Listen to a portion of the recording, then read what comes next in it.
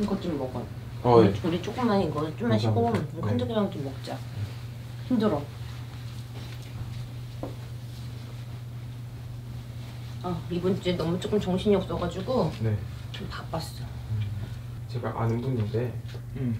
좀 한번 봐주실 수 있나요? 아니 좀 쉴 때는 좀. 어, 좀 이거 찍다가 좀 쉬자고 그러는데 그냥 간단하게. 간단하게. 네. 그러니까 지금 사업을 좀 크게 하시는데 음. 좀 힘들어요. 이거 네. 요즘 시대 아닌 사람이 어딨어. 올해 운기가 좀 안 좋았던 건지 음. 올해부터 좀 그랬던 것 같아요. 몇 살이에요? 72년 8월 9일생이요. 내가 좀 감꾸는 것 같은데. 아니 아니 아닙니다. 남자분이세요. 나 감보는 것 같아. 아닙니다 아닙니다. 아니 뭐 있잖아 그거 되게 많아 주작이다 뭐다 이렇게 말 많이 해 진짜 나도 피디님한테 당하는데 아 진짜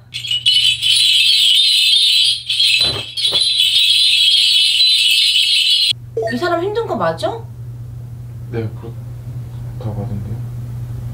이 사람 안 힘든 사주로 나오는데 그래요? 어 그리고 이 사람의 특징에 대해서는 이 사람은 굉장히 재주를 가진 사람이에요 음. 머리로 내 머리에서 차, 창의력, 음. 상상력 이런 것들로 해서 펜을 잡아야 되는 글을 쓴다거나 네. 그리고 예술적인 기능도 네. 어 뭐랄까 감성적인 부분, 음. 감정 기복 굉장히 심하고요. 어 그 다음에 어 약간의 히틀러의 성향 있잖아, 독재자의 성향 있잖아. 어. 그런 것도 같이 가미가 있어서 본인이 하고자 하는 것들을 무작정 내밀어대는데 이 사람 기분 되게 좋은데? 막 더워 나 지금 막.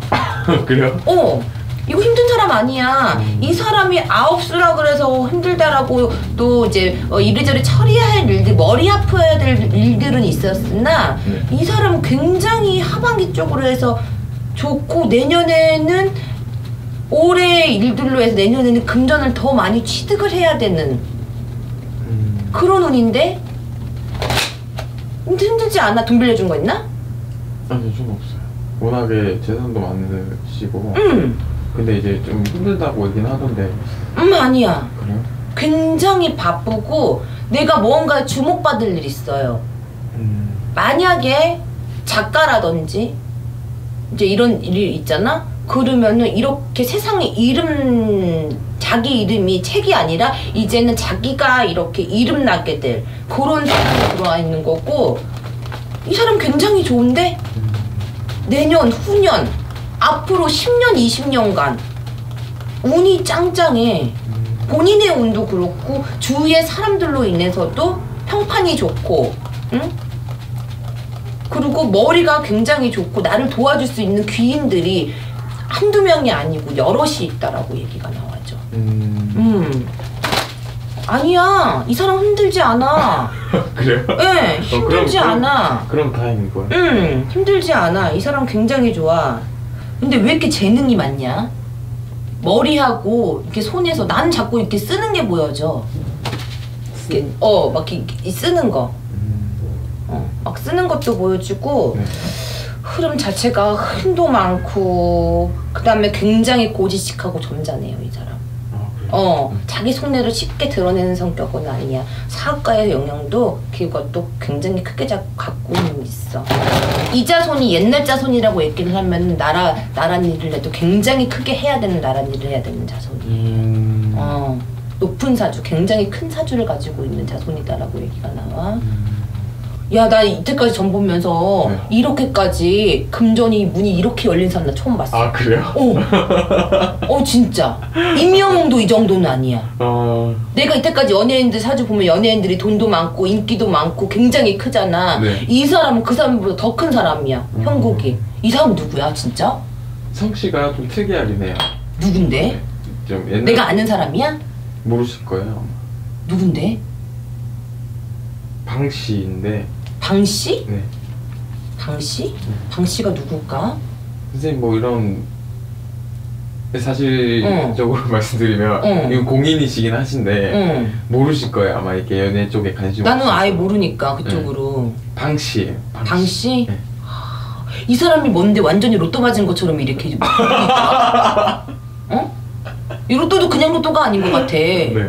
돈다발이 우르르르 떨어지는 것처럼 운이 안 좋다 그러니까 난 할머니한테 물어봤는데 우리 할머니가 어, 운이 안 좋은 게 아니라고 정말 말씀하시잖아. 음. 내 느낌은 그래. 로또 맞은 것보다 더 큰 거야 이거는.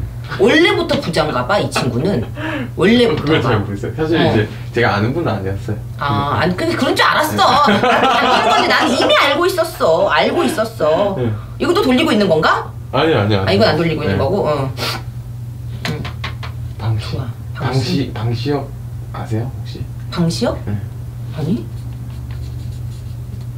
이, 이 사람이 누군데? 뭐 하는 사람이야? 연예인이야? 아니 연예인은 아니고 어. 연예 기획사 대표 아, 연예 기획사 대표. 아 어. BTS 네, BTS 그 분들의 네, 기획사 아, 이수만 같은 분? 네, 네 그죠 그죠 아. 원래는 작사 작곡을 하시다가 아, 그래서 이 사람 재능이 이렇게 이렇게 나온 거구나. 어, 이 사람은 있잖아. 내가 딱 이게 저- 들었잖아. 여기다가 여기다가 딱 펜을 꽂고 있어. 이렇게. 옛날 할아버지들 있잖아. 이렇게 펜 꽂고 있는 분 있잖아. 이렇게 딱 펜을 꽂고 있어. 음... 어, 진짜로. 펜딱 이렇게 꽂고 있다고. 이분은. 음... 이거 펜 드는 사주야. 음... 정확해. 그리고 머리가 얼마나 좋은지 모르겠어. 음... 어, 똑똑해요. BTS 키우신 분들이야. 이, 이분이. 지금 막 그 주식 관련돼서 음, 엄청난 붐이 일어나는데 지금.